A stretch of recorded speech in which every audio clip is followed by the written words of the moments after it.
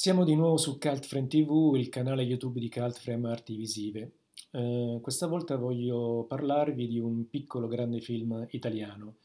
Di solito non lo faccio perché mh, il cinema italiano negli ultimi anni è diventato conformistico e eh, assolutamente prevedibile e quindi raramente mi occupo di film italiani eh, dedicando spazio appunto su Cultframe TV Uh, eppure eh, questa volta un piccolo grande film mi ha colpito, è un uh, piccolo grande film in programmazione nel cartellone del Torino Film Festival. Eh, vi dico subito il titolo, è semplicemente Pino, un, il regista è Walter Fasano ed è un film dedicato alla figura di un grande artista italiano morto ormai moltissimi anni fa, nel 1968, Pino Pascali. Perché mi ha colpito questo film? Perché è un film anticonvenzionale, dovrebbe essere un documentario, ma di, fatti, di fatto non lo è.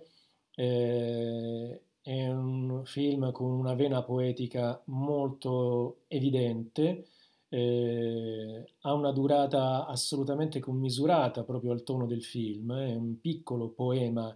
eh, espressivo ed è estremamente interessante che ci sia stato proprio oggi nel 2020 eh, un film dedicato proprio alla figura di Pino Pascali, un artista che certamente gli addetti ai lavori del mondo dell'arte contemporanea, gli esperti dell'arte del Novecento ricordano e conoscono, ma in generale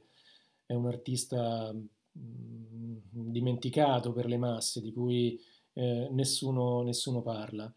Allora, perché è un film importante? Pino. Ehm, è un film importante perché si tira fuori da, mh, diciamo così, tutto il birignao prevedibile, scontato, eh, abbastanza sterile, conformista del cinema italiano di oggi e ehm, si manifesta come una sorta di piccola apparizione, apparizione appunto di un piccolo gioiello espressivo eh, il cui intento poetico è quello di riportare eh, alla luce la figura di Pino Pascali attraverso un meccanismo non eh, banalmente documentaristico, sarebbe stato di una noia mortale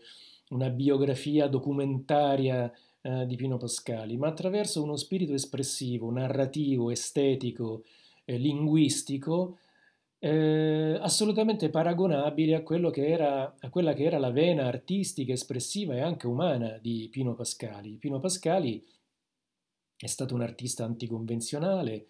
che è andato contro tantissime regole, che almeno inizialmente ha anche faticato per certi versi, anche se poi ha trovato dei galleristi di riferimento che l'hanno molto sostenuto, comunque ha faticato all'inizio anche a far accettare sue mostre che poi sono diventate eh, importantissime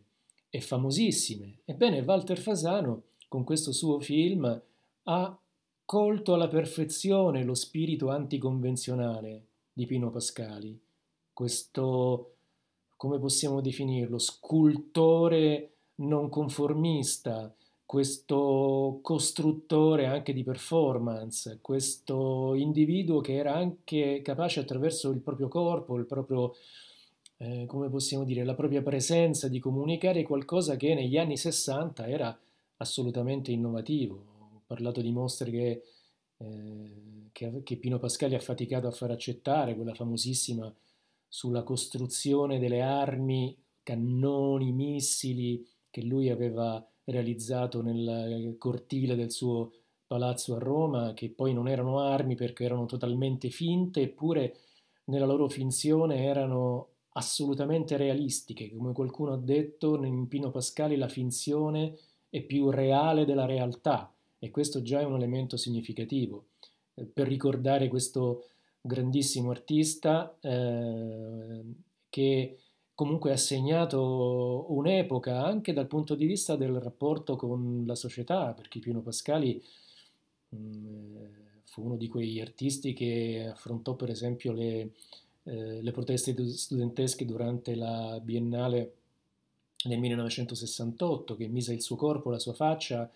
pubblicamente per far capire eh, come la Biennale si dovesse svolgere ugualmente, anche se poi pare che la sua sala comunque fu eh, lo stesso chiusa in seguito alle proteste. Comunque, a parte questi aspetti più storicistici, diciamo subito che il, il film di Walter Fasano è, come ho già detto, forse un piccolo poema visuale eh, sulle orme di Pino Pascali e come chiaramente scritto nelle note di regia ci sono due punti di riferimento inequivocabili, da una, par- da una parte Chris Marker, dall'altra Anna René, e questo certamente, come dire, non rappresenta una novità dal punto di vista estetico, linguistico nel cinema di oggi, nel cinema documentario, ma fa sì che questo film Pino si tiri fuori appunto da questo, come l'ho definito prima, birignao conformistico, e, ehm, e, come dire, abbastanza sterile, eh, ripetitivo ecco, eh, della cinematografia italiana di oggi. Ne esce fuori un ritratto di Pino Pasquali, Pascali eccezionale, attraverso anche le, le, voci fuori campo di Susan Vega, Alma Jodorowsky, la nipote del grande regista Jodorowsky, eh, Monica Guerritore e Michele Riondino, e soprattutto attraverso l'uso di fotografie. Attenzione, l'uso di fotografie dello stesso Pino Pascali, che utilizzava molto la macchina fotografica ed era perfettamente consapevole negli anni 60 già della potenza comunicativa della fotografia. Ecco perché per esempio molte sue performance, molti suoi allestimenti di mostra sono documentati fotograficamente, ma ci sono anche eh, immagini, appaiono immagini di fotografi eh, che hanno lavorato anche eh, nel presente. Mi riferisco per esempio a Pino Musi, a Elisabetta Catalano, Ugo Mulas e Claudia Abate. Ecco, è, eh, Pino e di Walter Fasano mm, è una specie di, eh, di percorso a ostacoli, aggrovigliato, che fa emergere la memoria di questo grande parascultore, di questo grande creatore di eh, enormi apparati di finzione, eh, artificiali che alludevano alla realtà in una maniera più forte della realtà stessa e attraverso le fotografie appunto di questi autori si costruisce un mosaico visuale espressivo eh, per certi versi anche drammaturgico, certamente intellettuale, di una figura centrale nell'arte del Novecento italiano, ma non solo, io direi nell'arte del Novecento eh, europeo. E dunque che cosa emerge fuori, lo ripeto per l'ennesima volta, di Pino Pascali, la sua diversità, la sua, il suo coraggio, l'inevitabile forza della sua poetica artistica, ehm, la capacità di creazione di elementi innovativi, eh, la sua capacità anche di mutare il concetto di,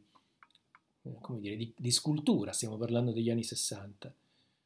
era un artista a mio avviso rivoluzionario e Walter Fasano con il suo film Pino lo mette in evidenza in una maniera molto precisa. Quindi eh, vi inviterei a eh, vedere questo film che è fruibile online, Pino di Walter Fasano, il Torino Film Festival. E vi voglio lasciare con eh, una breve frase di eh, di Pino Pascali, eh, una frase che ehm, a me ha sempre molto colpito, che prendo da questo catalogo di questa mostra di Pino Pascali che c'è stata nel 2004 a Napoli, un catalogo bellissimo dove peraltro eh, sono presenti anche le eh, immagini eh, di Pino Pascali e la frase con cui voglio lasciare è questa. Allora, ed è una frase appunto di, di Pascali. L'arte è trovare un sistema per cambiare, come l'uomo che ha inventato la scodella per la prima volta. Così nasce la civiltà, dalla voglia di cambiare. Dopo la prima volta, fare la scodella è accademia. Ecco, mi ha sempre colpito di questa frase il riferimento a questo oggetto così povero, la scodella di Pino Pascali, che ci fa capire quanto fosse anche radicato nella realtà, nel suo mondo anche del meridione, era un artista pugliese, originario di Polignano, Polignano a Mare. Ma a parte questa questione, mi ha sempre colpito eh, l'inizio, l'arte è trovare un sistema per cambiare. Ricordatevi questo aspetto, l'arte è trovare un sistema per cambiare. Per arte intendiamo arte contemporanea, fotografia contemporanea, cinema, chi cambia in questo periodo? Chi cambia, quasi nessuno.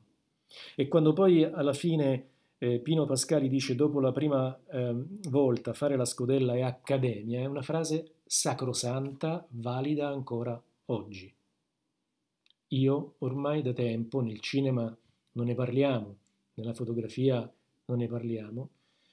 non faccio altro che trovare accademie, para-accademie, pseudo-accademie, filo-accademie